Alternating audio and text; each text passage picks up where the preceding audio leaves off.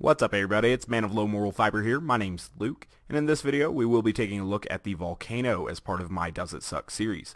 The Volcano is the legendary Maliwan sniper rifle, and it's always going to come in fire.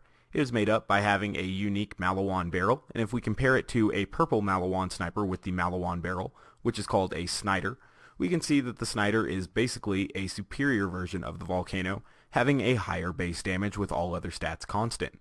And basically, that is true. Um, the Volcano tries to make up for this by having an increased splash damage, but in practice, it works out that the Snider will always be superior when accounted for total damage. So we're going to go ahead and take a shot at the critical here with the Volcano, and we'll get 8820 and 1115,000 as our damages for that.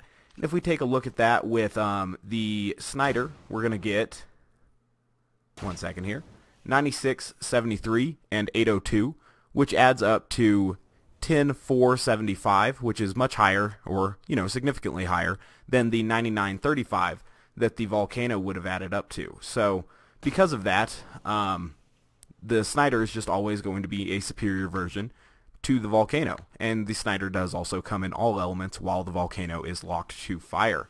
And if you were to, um, you know, gain a few stacks of critical ascension, the difference between the um, Volcano and the Snider will only grow more in the Snider's favor.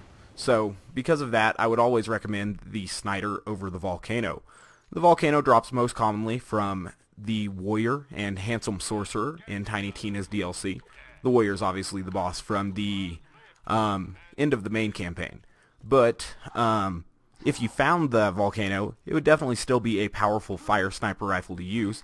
It's definitely going to be able to get one-shot, one kills and everything if you're coming out of Deception and using Slag and Kunai on OP8.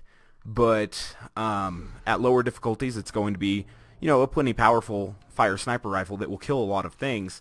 However, there's just not really a reason to use it over the Snider or definitely the longbow, which will do a lot more damage of it or than it. I should have shown the longbow at the test dummy, but basically you can see that it has a very, very high base damage, and as far as, you know, a one-shot weapon that's going to hit something straight in the head, the Volcano is unmatched, and the only thing that can really touch it is a Pimpernel, um, but obviously it requires its unique aiming system.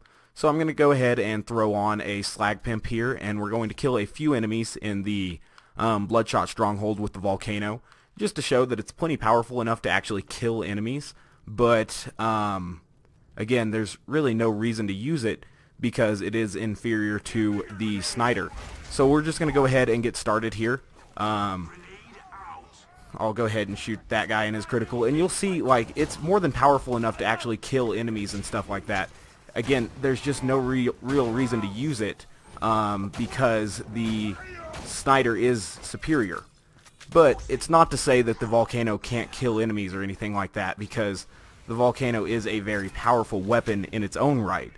But again, just inferior to the Snider, and there exists no reason to use the weapon. So it's kind of hard to say it sucks when it's going to be able to, you know, get good kills and everything even at overpower levels. But it does suck in comparison to the Snider, So I'm not exactly sure what I would say the final verdict here is on the Snider. Um, it definitely sucks in comparison, you know, and because of that, I guess you would say that overall it sucks, but, oh wow, that guy's critical was being extremely hard to hit.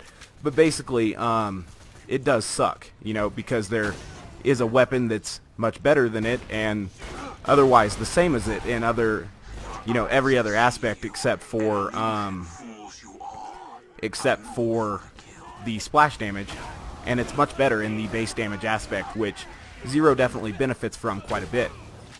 There's, you know, no reason to use the Snider, other, or no reason to use the Volcano, excuse me, if you have a Snider, and the only real reason to use the Volcano would be that you just found it from the Warrior or something like that.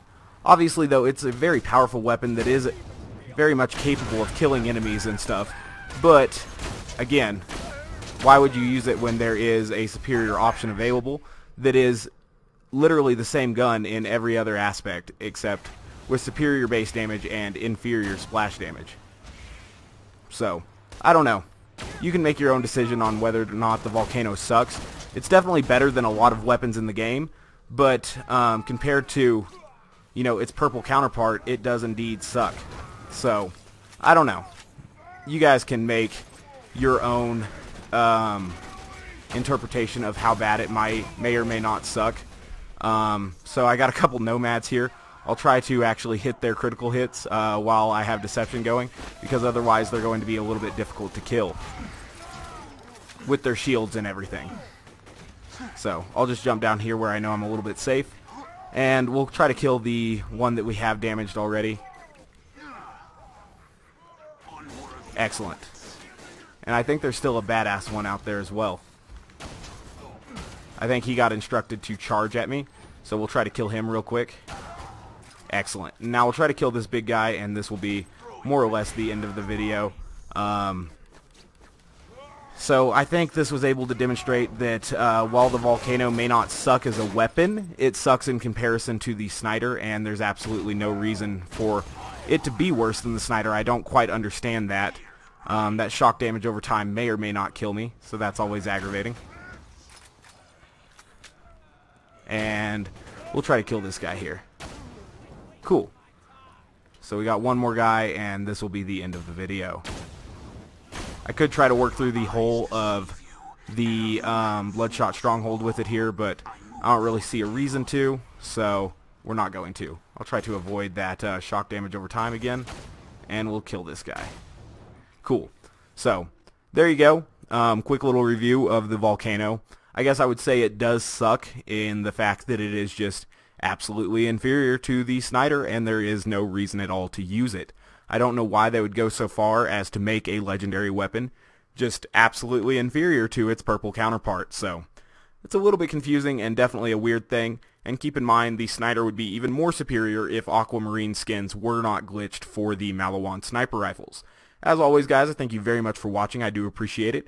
And if you haven't yet taken the time to subscribe, please do so. I'd appreciate that as well. Otherwise, I do hope to catch you next time. Bye, guys.